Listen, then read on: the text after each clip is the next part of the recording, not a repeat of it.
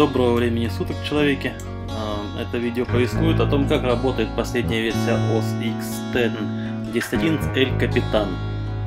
На MacBook Pro середины 2012 года с процессором Core i5 2,5 ГГц, 4 ГБ оперативной памяти и обычным жестким диском. Сейчас мы видим запуск Safari обновленного, который, кстати говоря, доступен даже на Yosemite буквально перед обновлением OS X а, мне предложили обновить Safari.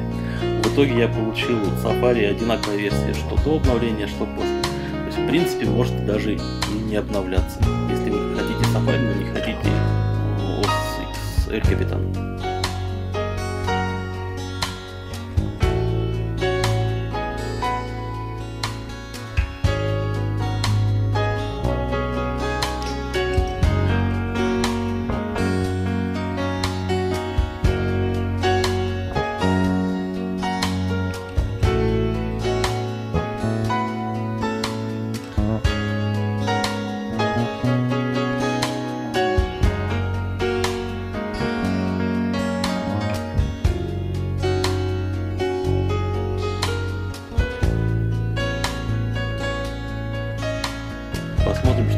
Скайпом.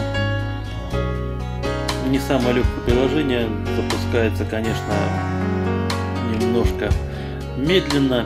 Тут ничего не поделаешь. Жесткий диск все-таки довольно посредственно, э, с довольно посредственной скоростью работы.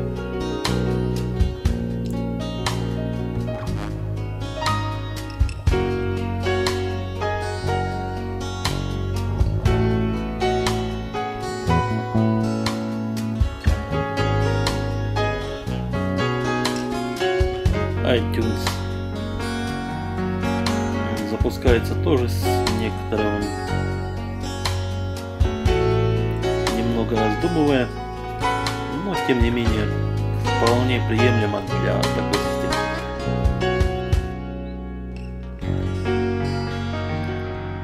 Тут возникли кое-какие вопросы по поводу карты, которая, по-моему, то ли кончилось у меня, то ли что, я уже не помню.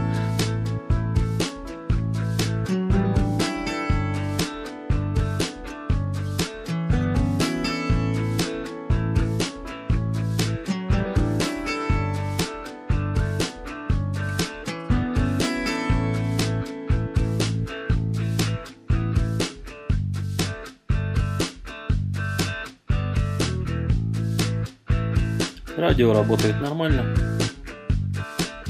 Лагов здесь, в общем-то, и не стоило ожидать. Но это так, скорее, покликать куда-нибудь была задача.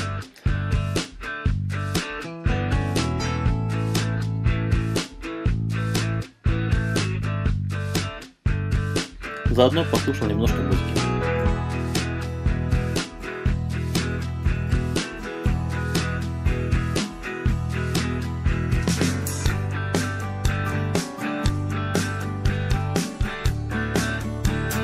Открывается быстро. Когда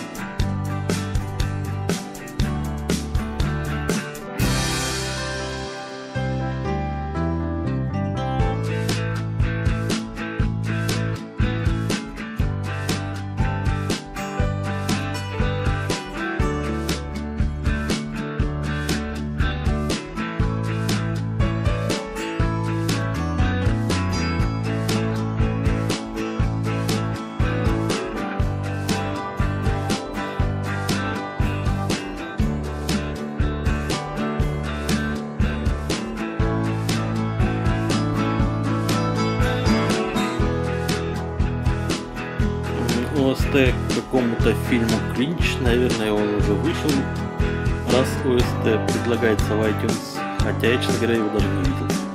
И более того, даже не слышал о таком.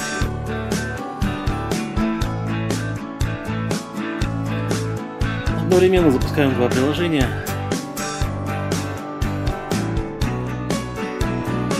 Safari довольно шустренько открывается.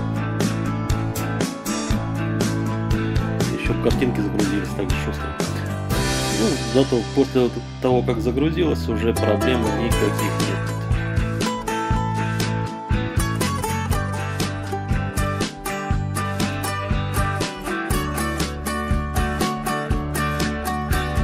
То есть система на обычном жестком диске по сути ничем сильно не уступает э, системе на SSD, за исключением того, что приходится некоторое время ожидать, пока приложение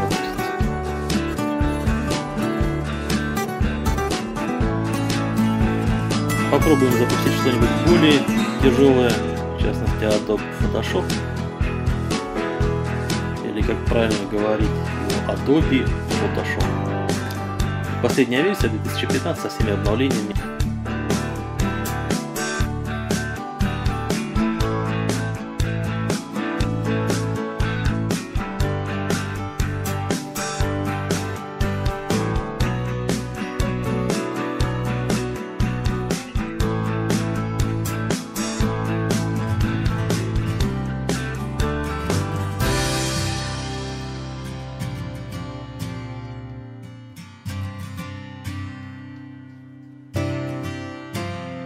Тут, конечно, нам Adobe делает сюрприз, но это у него, в общем-то, стандартная ситуация, и на Windows такая же проблема есть. После того, как открылось окно, а, основное рабочее окно Photoshop, а это не значит, что он готов к работе. Он что-то там еще делает. И в итоге, пока он не завершит все свои внутренние дела, он отказывается, по сути, работать. И хорошо, хоть здесь нету этого приветственного дурацкого окна, которое тоже вылазит еще, блин, секунды две-три, наверное. Ну, нету его, потому что я его отключил. Как видим, никаких подлагиваний, подлагиваний э, в работе с фотошопом нету. Делайте выводы сами. Всем пока!